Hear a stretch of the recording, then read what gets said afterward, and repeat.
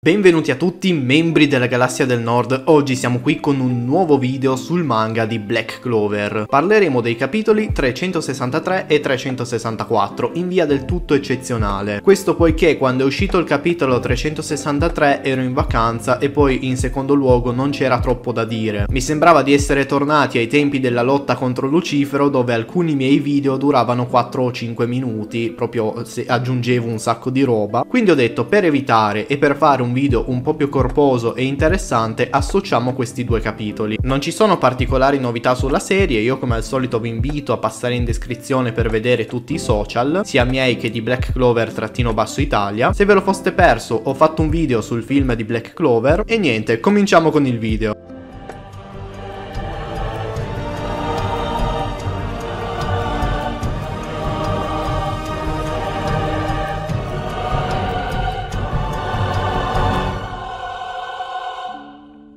Ditemi cosa volete, ma per me il capitolo 363 è stato tagliato in qualche modo, cioè non doveva essere così corto. Sappiamo che la settimana dopo c'è stata pausa del manga sulla rivista perché Tabata ha avuto dei problemi familiari legati alla salute della moglie e quindi facendo 2 più 2 secondo me è stato questo il motivo. Comunque sia, la scorsa volta eravamo rimasti al discorso di Mimosa e di Marcus per motivare coloro che stavano combattendo e i cittadini di Clover. Intanto, alla foresta delle streghe, Vanessa, Dorothy e la regina delle streghe, insieme a Finral ed altre streghe minori, stavano cercando di eseguire un incantesimo volto ad individuare ed evocare Asta. Però ad ostacolare l'incantesimo arrivano alcuni paladini generici, guidati da Damnatio, anch'esso un paladino. Ebbene, nel 363 Lucius fa notare a Juno quanto il suo gruppo sia ossessionato da Asta. Effettivamente sono tre capitoli che ce la menano di lì. Se Juno è il protagonista, Asta è lo scrittore. Se Juno riesce a cariare tutti gli altri da solo con Neverland, Asta li motiva pur non essendo sul campo di battaglia.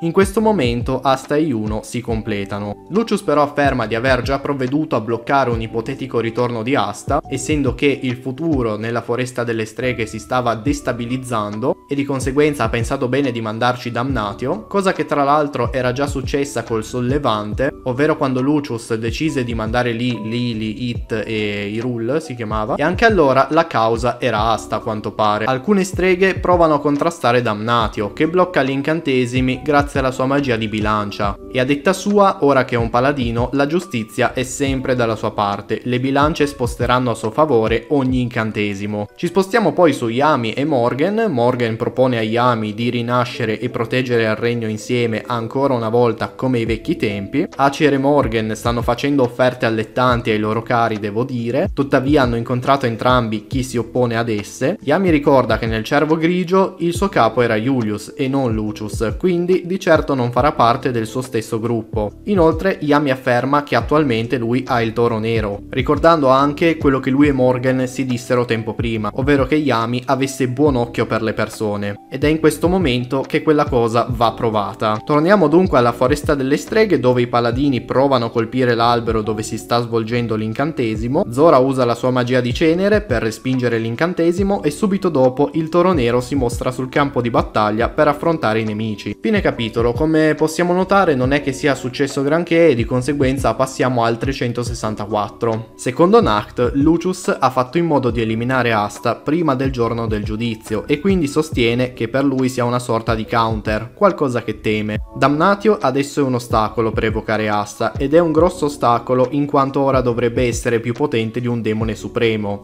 Ora, quale demone supremo non c'è lecito saperlo, probabilmente potevano, non lo so, mettere un'immagine per farci capire quale, perché di demoni supremi noi non è che ne abbiamo visto uno, ne abbiamo visti tipo 4 o 5, e quindi niente, questo punto è da chiarificare. I membri del Toro Nero attaccano tutti insieme affrontando i vari paladini, cercando di arrivare a Damnatio. Nel mentre Henry e Gordon mirano a bloccare il nemico assorbendo il suo potere magico. Damnatio usa la spada di Michael, che prende il nome da un altro angelo della Kabbalah, esattamente come Sakiel di sorella Lily. Una bilancia senza spada è impotente, una spada senza bilancia è violenza. Una bilancia con una spada porta ordine. In altre parole, chi viene giudicato male dalla bilancia va ucciso con la spada. Discorso di Damnatio che ha un suo senso comunque. Damnatio così colpisce immediatamente Gordon e Henry con la sua spada, il quale taglio forma una croce sulla base del toro nero. Gli altri membri del toro nero dunque subiscono gli effetti della magia e perdono parte del loro potere magico. Tuttavia continuano a fare le loro combo nonostante vengano colpiti o feriti. Si scagliano in attacchi suicidi senza pensare alle conseguenze. Questo perché, beh, Ghosh sta duplicando Grey con il Mirage Brigade in modo che questa possa usare la magia di trasmutazione e curare i membri del Toro Nero. Damnatio così punta alla vera Grey, che è stata nascosta dalla lana di Charmy per non essere scovata,